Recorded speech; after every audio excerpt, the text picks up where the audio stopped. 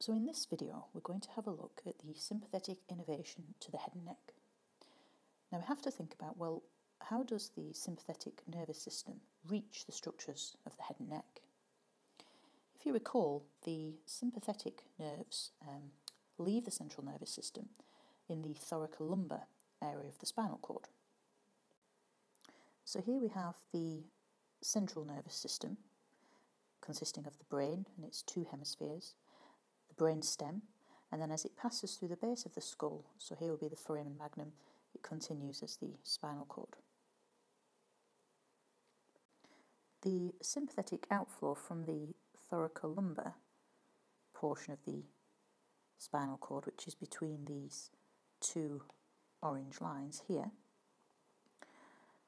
runs from the level of about T1, so the first thoracic segment, to L2. So all the sympathetic nerves that are going to leave the central nervous system and innervate every part of the body that the sympathetic nervous system innervates will arise from this portion of the spinal cord. So the cell bodies of the first sympathetic neuron to exit the central nervous system, let's draw it in here, will sit in the grey matter within the spinal cord, so in the lateral horn of the grey matter. It will then send its axon out of the central nervous system, and this first sympathetic nerve, as it leaves the central nervous system, is known as the preganglionic sympathetic nerve.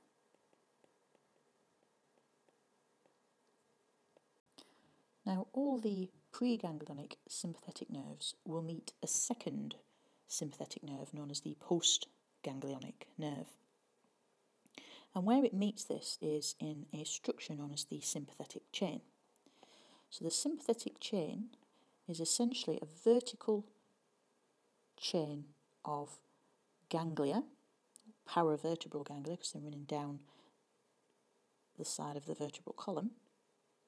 So these purple dots here are the paravertebral ganglia, which are arranged in a vertical chain known as the sympathetic chain.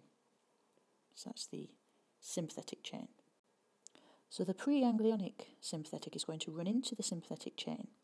Now, if this sympathetic outflow is destined for a structure that's um, reasonably level with where it's exited from the spinal cord, then it may synapse with the cell body of its postganglionic nerve at the point at which it enters into the sympathetic chain.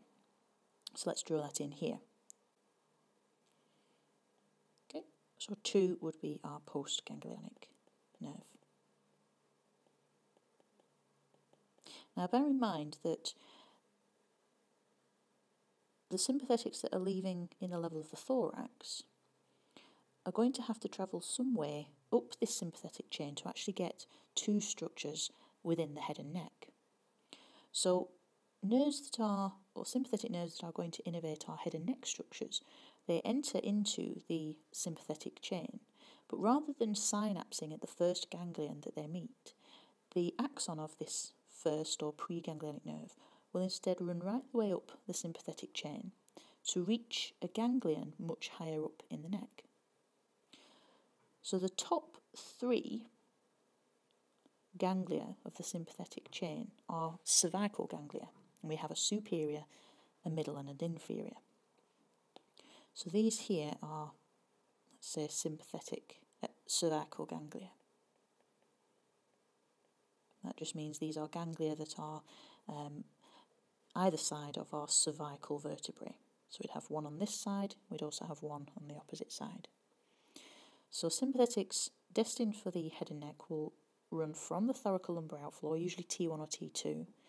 The axon will pass into the sympathetic chain, but they won't synapse at this first ganglion. Instead, their axons will run up the sympathetic chain, so using it a little bit like a lift or an escalator, to reach uh, a ganglion much higher up in the neck, one of the cervical ganglia. Just add one on there because there's three cervical ganglia. So if we take this sympathetic nerve, this preganglionic sympathetic nerve, and we'll just remove the um, end here. So rather than it synapsing in the ganglion here, we're going to follow it up into the neck. So it's going to go up spinal, uh, up the sympathetic chain, and it will synapse either in the superior, um, middle, or inferior cervical ganglia if it's going to um, innervate structures in the head and neck. So we'll look specifically at the top of the cervical ganglia, the superior cervical ganglia. That's perhaps the most important one uh, to take note of. Okay, or superior cervical ganglia. So within the superior cervical ganglia, we would find the cell body, because a ganglia, as you recall, is just collections of cell bodies outside the central nervous system. And we find our cell body of our postganglionic nerve. Okay, our postganglionic nerve.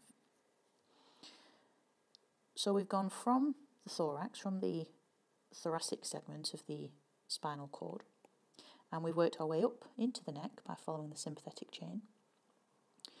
We've synapsed in the superior cervical ganglion to give rise to our postganglionic sympathetic nerve. And it's the route of this nerve um, that we're going to follow now in terms of the um, head and neck structures and how the sympathetics reach their target tissues. So we're still in the neck at this stage, and obviously this isn't entirely anatomically accurate. We're having to blow certain structures uh, up into uh, a much bigger representation for the purposes of uh, showing you what's happening here. So what I'm drawing here is, um, so we, will be in the neck here. We're still in the neck. So this bit here is just a, a zooming in on the on the area of the neck, and here we have the um, common carotid artery, internal carotid artery, and our external carotid artery, which would give rise to a number of branches that innervate or supply blood to the um, the face and the, and the neck, etc. So if we look at this from another perspective on this uh, image just here, so here we can see the um, common carotid artery, its bifurcation into the internal carotid artery, which is going to run in through the base of the skull, and the external carotid artery, which is giving its branches to the face and the scalp, etc. And if we look a little closer, you can see running up the length of the neck here are the cervical ganglia. So we've got our middle cervical ganglia and our superior cervical ganglia just there. And these are giving rise to postganglionic sympathetics,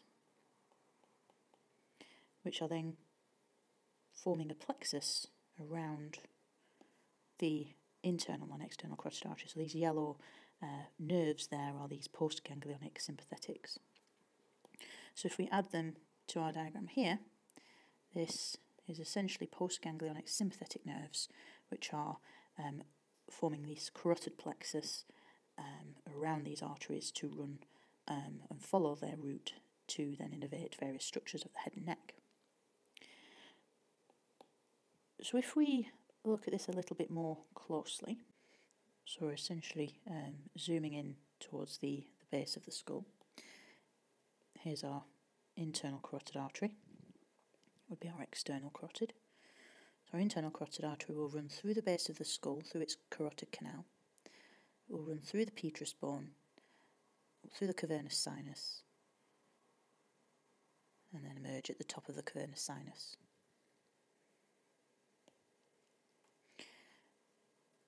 It will take with it this plexus of sympathetic nerves, so the sympathetic nerves are running through the carotid canal as well as through the side of the cavernous sinus. So if we look at it from another perspective, in this image at the uh, top right here, so here we have um, this venous plexus that would be within the cavernous sinus, so we've got one at either side. Here's the sella turcica with the pituitary gland in the middle. And obviously what we have here is we've removed the walls of the cavernous sinus, which are essentially um, a layer of dura. And we're not seeing all the other structures that run through the cavernous sinus, like the cranial nerves and the internal carotid artery. But we'll add on the internal carotid artery. So the internal carotid artery will um, arise through uh, the internal carotid, uh, so the carotid canal, I'll just draw that on here. It will then run into the side of cavernous sinus and peep out through the top. And a branch is then given that runs through the optic canal, which is here, that will run with the optic nerve and into the into the orbit. So carotid canal, internal carotid, sorry, will have run up through the base of the skull, through this carotid canal, it emerges here, and then it runs into the middle of the cavernous sinus and then peeps out at the top before giving off um, a, a branch known as the ophthalmic artery, which runs into the orbit. So around this internal carotid artery, we have these sympathetic nerves that are also following these arteries. Okay, so that's what I've tried to demonstrate here uh, in a much more simplistic form, and this is just looking at it from a, a slightly different perspective. So what happens um, if we draw on the ophthalmic branch here? So this is the ophthalmic artery coming off the internal carotid. We see it here coming off the internal carotid, and it will run through the optic canal into the orbit. So if I draw the eye here, looking from the side, and those sympathetic nerves are going to follow the ophthalmic artery through the optic canal and essentially reach um, smooth muscle in the eyelid and the smooth muscle of the iris. Now, just a small point to make in terms of its um, final route to the target tissues of the um, smooth muscle of the eyelid and the smooth muscle of the iris, the dilator pupillae, is that although it's for its most part it's reached the orbit by hitchhiking onto the internal carotid and the ophthalmic artery, once it's inside the orbit, these sympathetic nerves are going to then follow very, very distal branches of the oculomotor nerve up to the eyelid, because we know the oculomotor nerve innervates the other main muscle of that eyelid, the levator palpebrae superioris, and those that are attempting to reach the muscle of the iris will jump onto uh, very, very small distal branches of the ophthalmic division of the trigeminal. But the main thing to take away is that um, our sympathetics to the head and neck are for the most part hitchhiking onto blood vessels. Those that hitchhike onto the external carotid artery, so our external carotid artery, um, will reach uh, smooth muscle um, and sweat glands. So smooth muscle within the blood vessels, including obviously um, these branches here. So the sympathetics that are forming a plexus around the internal and external carotid artery will be innervating the smooth muscle in the walls of these vessel vessels, um, but equally uh, they'll eventually reach uh, sweat glands as well uh, through branches of the external carotid artery um, in terms of the face and the, and the scalp, etc. So that's uh, essentially how the sympathetic nervous system reaches some of the key structures of the head and neck